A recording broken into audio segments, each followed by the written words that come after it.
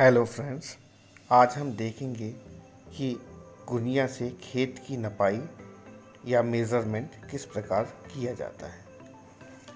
गुनिया पटवारी के द्वारा नक्शे में किन्हीं दो बिंदुओं की दूरी नापने के लिए इस्तेमाल होती है।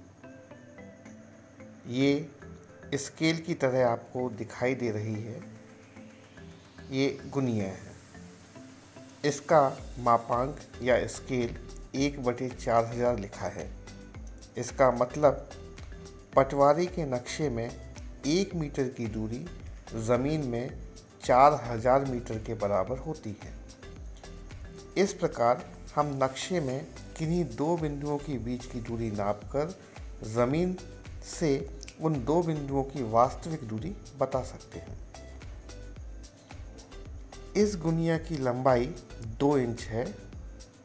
जिसमें दस बड़ी कट लाइन बनी है और प्रत्येक दो बड़ी कट लाइन के बीच में चार छोटी कट लाइन्स बनी हुई हैं।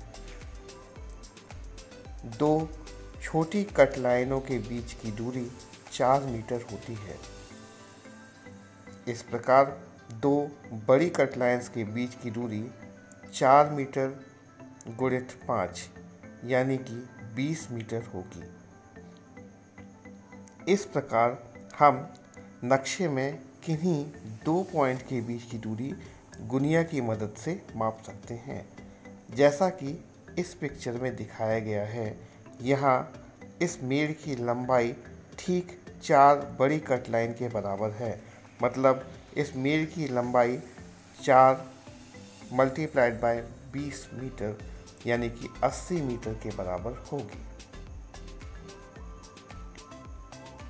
Thank you